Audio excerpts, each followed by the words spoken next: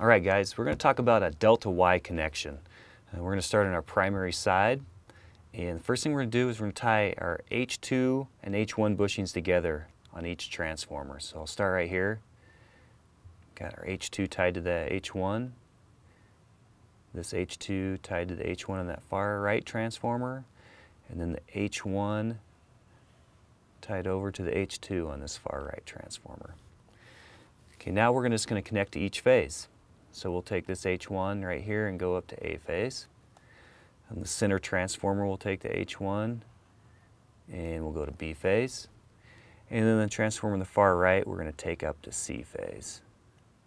So what we made here with that delta primary connection, this is a phase-to-phase -phase connection for the transformers. So what I mean is, if you look at this H1, it goes up to A phase. If you look at the H2 on this transformer, it's tied over here and then goes to B phase. So this transformer is connected to A phase and B phase. Okay. If you look at the center one, let's do another example. Um, the H1 on the center transformer goes up to B phase. And the H2 on the center transformer comes over here and it goes up to C phase. So there's another phase-to-phase -phase connection between B phase and C phase. All right, so that's our primary connection on the delta, delta Y bank.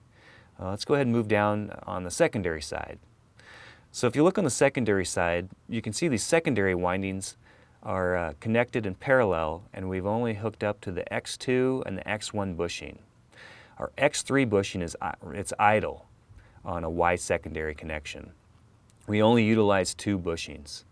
So I'm going to change colors here. We're just going to put an X through our X3 bushing because uh, it is not even being connected. Okay. Now we'll go ahead and do the connection.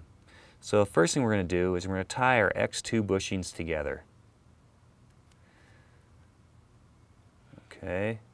Now that they're tied together, we're going to run it down and we're going to take it to ground. And that's our secondary neutral connection. X2 bushings are all tied together and then you run it down to your ground.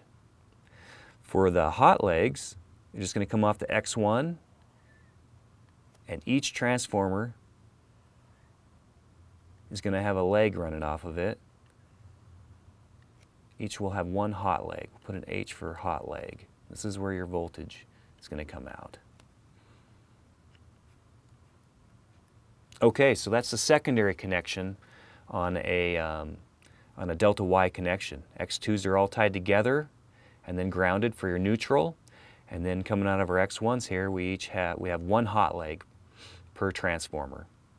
Um, so one of the benefits of a delta Y connection is on the, on the primary side, you can hook it up to a three wire system, like a delta or an ungrounded Y system, or you can use a four wire system, like a grounded Y system, which has a neutral.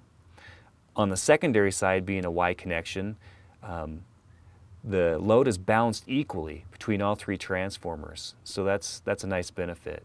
Um, one of the downsides is that if one of the transformers fails, then you're just down to a single phase service until you get that transformer fixed. Uh, thanks a lot, guys.